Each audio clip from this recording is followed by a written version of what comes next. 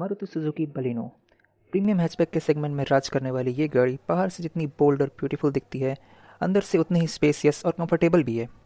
अगर आप खुद ड्राइव करते हैं, या फिर आप एक बिजनेसमैन हैं जो रियल सीट कंफर्ट चाहते हैं, या फिर आपको अपनी सासू माँ को एयरपोर्ट ड्रॉप करने के लिए, उनके बड़े सूटकेसेस के लिए बड़ा बूट चाहिए, या फिर आपकी पॉकेट फ्रेंडली प्रायोरिटी है, ज़्यादा माइलेज तो ये कार हर किसी के पर्सपेक्टिव में बिल्कुल फिट बैठती है।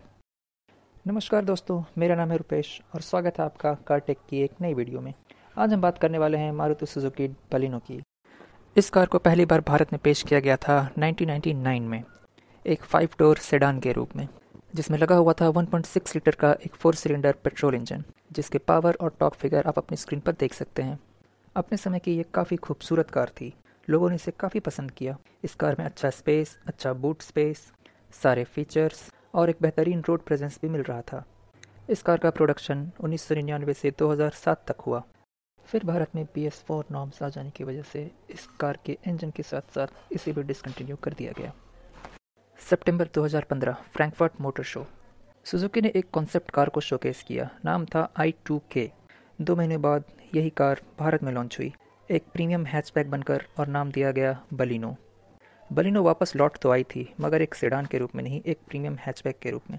इस कार में सब कुछ नया था। एक नया हरटेक प्लेटफॉर्म नया engine 1.2 litre V petrol engine और 1.3 लीटर टी डीजल इंजन और इसके साथ ही पहली बार पेश किया गया था पेट्रोल में सी ऑटोमेटिक ट्रांसमिशन नया इंटीरियर नया एक्सटीरियर बेहद ही खूबसूरत लगने वाला liquid flow design H headlights with T rear combination L E D lights alloy wheels बेहतरीन interiors touch screen infotainment systems rear camera automatic headlights और बहुत सारे फीचर्स जब ये कार भारत में लॉन्च हुई, तब प्रीमियम हैचबैक के सेगमेंट में राज कर रही थी ह्यूंडाई की आई ट्वेंटी इसने लॉन्च होते के साथ उसके सेल्स को काफ़ी पीछे छोड़ दिया। इस सेगमेंट में और भी कार्स थी।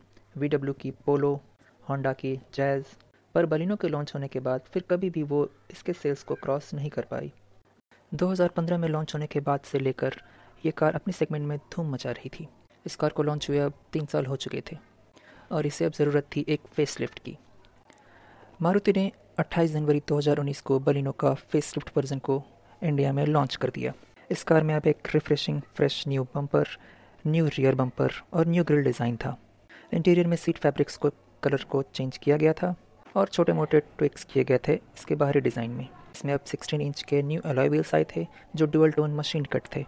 इसके साथ ही इंट्रोड्यूस किया गया था एक न्यू इंफोटेनमेंट सिस्टम जिसे Maruti smart play infotainment system कहता है।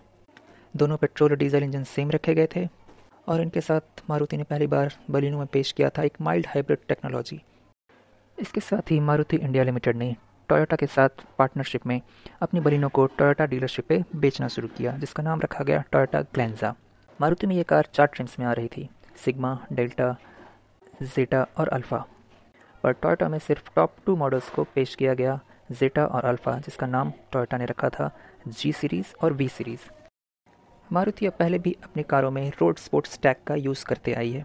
कार्स में स्पोर्टी रेसिंग डेकल्स लगाना और एक आरएस की बैजिंग मारुति ने बलिनो का भी एक RS वर्जन लॉन्च किया, मगर यह सिर्फ़ डेकल्स लगी हुई एक कार नहीं थी। इसमें अंडर द हुड चेंज था। इसमें लगा हुआ था जापान से इम्पोर्टेड वन लीटर का टर्बोचार्ज्ड इंजन जिसे मारुति बूस्टर जेट इंजन कहता है। ये प्रोड्यूस करता था 101 bhp and 150 newton metre of torque ये एक परफॉर्मेंस ओरिएंटेड वर्जन था बलिनो का, जिसे यंगस्टर्स को ध्यान रखकर डिज़ाइन किया गया था। इसकी मेन कॉम्पिटिटर थी अबार्थ पुंटो और Polo G T T S I ये कार माइलेज ओरिएंटेड नहीं परफॉर्मेंस ओरिएंटेड थी। हल्की बॉडी होने की वजह से ये कार 11.9 सेकंड्स में 0 टू 100 की स्पीड पकड़ सकती थी। 2019 के एंड में बलिनो आर के कम सेल्स की वजह से मारुति ने इसे इंडिया में डिसकंटिन्यू कर दिया।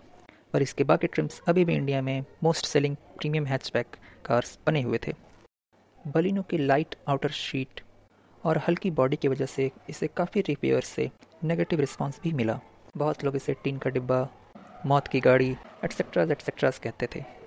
पर फिर भी ये one of the India's most good looking car है और अपने सेगमेंट में अभी भी राज कर रही है।